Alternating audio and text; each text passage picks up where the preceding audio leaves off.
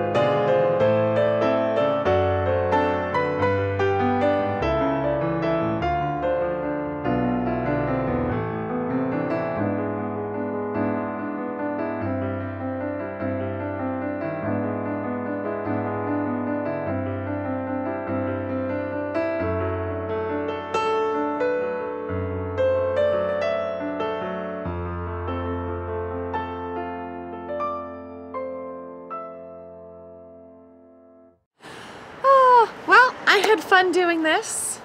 I agree with Jimmy. Let's bring back cloaks. That's it for today. If you liked this video, please give it a thumbs up.